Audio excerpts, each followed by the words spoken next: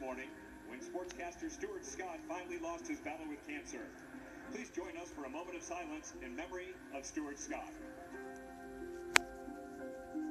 Impact. Through his career, the host of the flagship program on ESPN, Scott changed how we interpreted our sports news and our sports.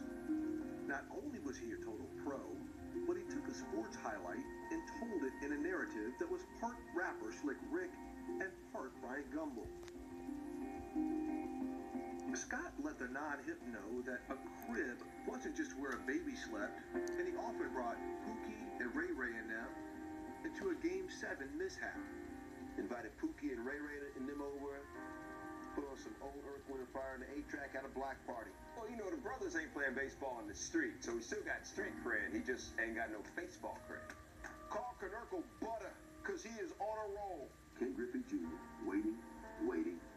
Booyah! The vernacular was no longer standard broadcasting 101. Scott was an oratorical tweeter before there was social media. Always dapper on camera, we heard what he said, but we also talked about what he said. We know and use his lines all the time. Think about it. We barely go a day without hearing someone say, Booyah. A lot of viewers and critics hated the slick talk. A lot of viewers and critics loved it. But to emulate it? Nope. Scott was an original.